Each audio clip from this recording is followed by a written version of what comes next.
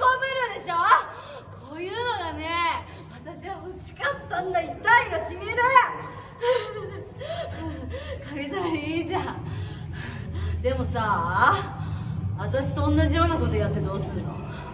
なんかもっと面白いこと考えてきてないわ私がやった同じことを仕返ししただけでしょ。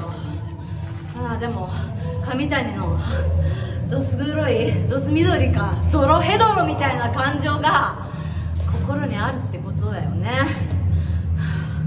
まあお互いそれを出し合って横浜。ぶっ潰す。豆ですね。えー、この間の広島で最後上谷ね。このベルトは絶望だった希望だったって聞かれました。今度は横浜アリーナで同じことを神谷に私が聞いてやります。私が上谷から必ず白いベルトを剥がす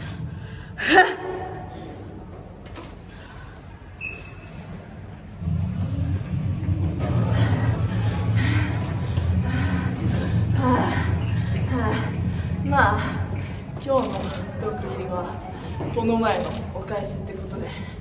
まあね今日はものすごく足を攻められてしまったけどタイトルマッチ当日は私の隅から隅まで全てを味わうといいかな。まあ私にはトラウマがあるけれどもその折れかけた翼をしっかりと戻してタイトルマッチ当日ゴールデンフェニックス大復活。皆さん見届けに来てください。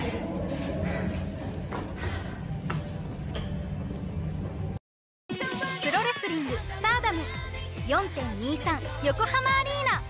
伝説の地で春のスターダム旋風を巻き起こす。プロレスラー姫香最後のゴングが鳴る。宇宙一きらめくスターダム。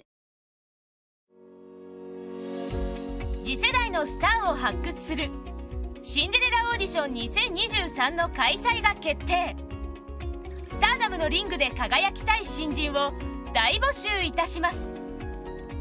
応募資格応募方法などをご確認の上ふるってご応募ください。詳細はスターダム公式ホームページをチェック。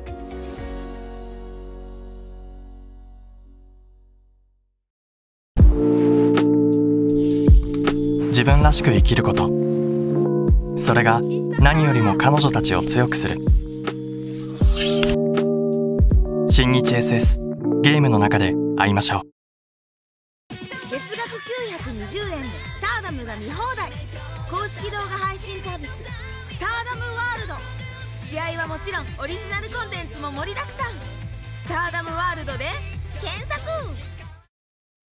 女子プロレススターダム公式チャンネル最新の試合映像から記者会見生配信バラエティ企画までキラキラ輝くスターダムの今がてんこ盛り。今すぐ登録